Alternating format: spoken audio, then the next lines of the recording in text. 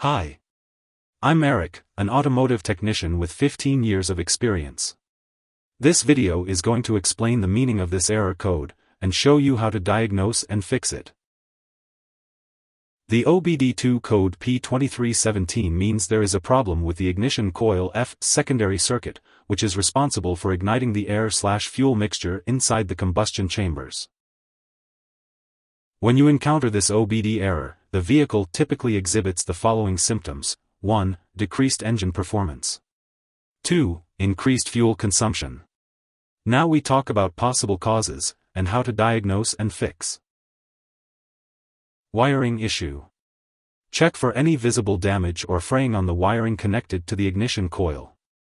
Use a multimeter to test for continuity and resistance in the wiring. Repair or replace any damaged wiring.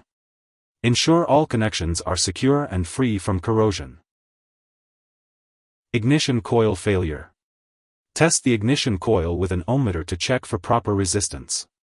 Also, check for any physical damage or signs of arcing on the coil. Replace the ignition coil if it fails the resistance test or shows signs of damage. Ensure the new coil is properly installed and the connections are secure. Powertrain Control Module, PCM, failure. Use an OBD2 scanner to check for any additional fault codes related to the PCM. Check for any visible signs of damage or corrosion on the PCM connectors. If other fault codes related to the PCM are present, diagnose and repair those issues first.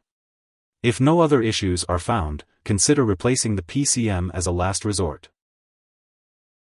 If there are uncertainties, feel free to engage in discussions by leaving a comment. Alternatively, when facing difficulties, it is advisable to seek assistance from a professional auto repair shop and technicians. It is not recommended to handle it independently, especially when uncertain. Thanks for watching.